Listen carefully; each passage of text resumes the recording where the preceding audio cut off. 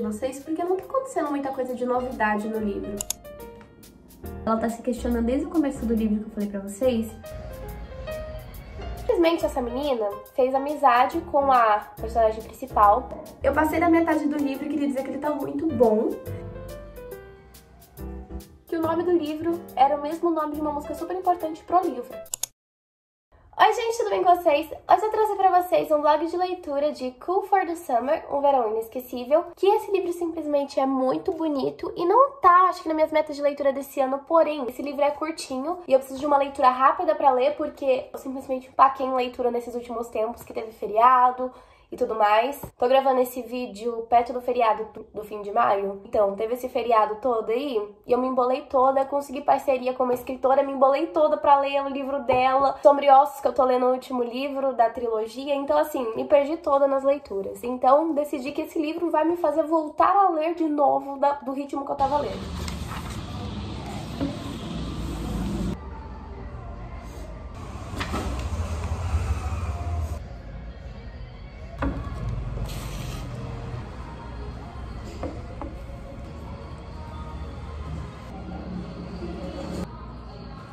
Vou falar pra vocês o que tá acontecendo no livro, que eu li já praticamente um capítulo na cafeteria, e a gente já conseguiu descobrir algumas coisas. A nossa personagem principal, que eu não lembro o nome dela, eu não vou saber o nome dela. Sem nomes agora, por enquanto, que é o primeiro capítulo ainda. Tô na página 18, então vamos relaxar com nomes. Simplesmente a nossa personagem principal, pelo que eu entendi, ela viajou para algum lugar e ela foi em algum lugar por conta de trabalho da mãe dela. E ela conheceu a filha de uma moça que trabalhava pro moço que a mãe dela trabalha. Um pouco confuso, mas simplesmente essa menina fez amizade com a personagem principal, só que ela é dessa cidade e a personagem principal estava viajando. E quando voltaram das férias, essa menina também estava na escola da nossa personagem principal.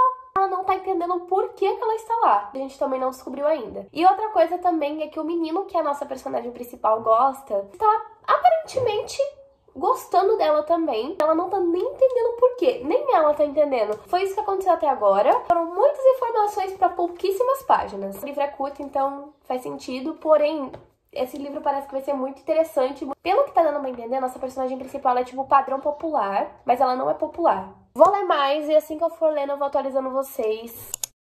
Eu passei da metade do livro e queria dizer que ele tá muito bom. E eu vou falar pra vocês uma coisa sobre a capa desse livro que eu só fui perceber agora. Aqui na capa, essa é a nossa personagem principal, a Larissa. Nas lentes do óculos dela tem duas pessoas que eu suponho que seja a Jasmine e o Chase. Mas quem são essas pessoas? Lembra que eu falei pra vocês que a Larissa viajou com a mãe dela por conta do trabalho? Então, a mãe dela trabalha com o pai da Jasmine. E elas acabaram se conhecendo melhor nesse verão que ela foi passar em Outer Banks, se não me engano. E pelo que deu pra perceber, uma gostou da outra nesse meio tempo, porque aconteceu alguma algumas coisas que deu pra perceber isso. Só que quando a Larissa volta pra cidade dela, elas parece que acho que elas não estavam se conversando mais uma com a outra. E a Jasmine vai estudar na mesma escola que ela e ela nem sabia. E a Jasmine tá fingindo que não conhece ela. O que tá muito estranho, eu não sei por que ela fez isso. E quem que é o Chase? O Chase, na verdade, é uma paixão não correspondida da Larissa, porém, agora ele gosta dela e agora eles estão meio que juntos. Só que sempre que o Chase está com a Larissa, ela pensa na Jasmine. Então eu não faço a menor ideia de com quem a Larissa vai ficar no fim dessa história, ou se ela vai ficar com alguém. Ó,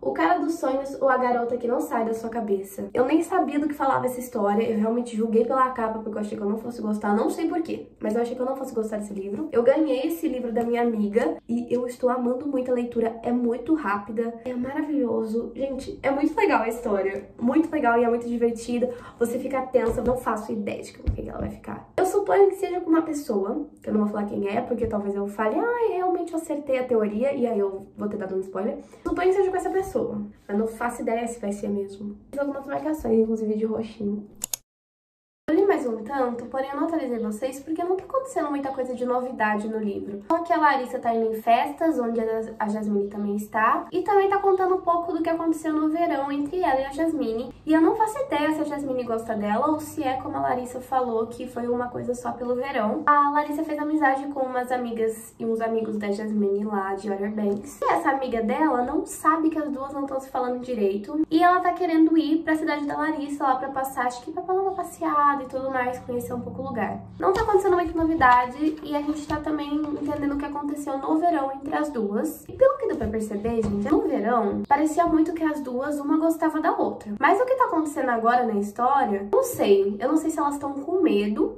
de, tipo, ficarem juntas ou se realmente, tipo, a Jasmine não gosta dela, porque dá pra ver que a Larissa gosta dela sim. A gente não tem o um ponto de vista da Jasmine pra gente também entender o que ela tá sentindo. A Larissa já falou que ela tem um pouco de receio de contar pros amigos dela que ela ficou com a Jasmine. E uma amiga da Larissa tá desconfiando que aconteceu algum romance com ela lá no verão. Ela falou que sim, mas ela não contou com quem. Tá, eu preciso atualizar vocês sobre o livro, mas vai acontecer provavelmente uma revelação que vai fazer eu parar de odiar alguns personagens e eu quero ler com vocês pra vocês verem minha reação. Na página 239, caso alguém queira saber que parte é.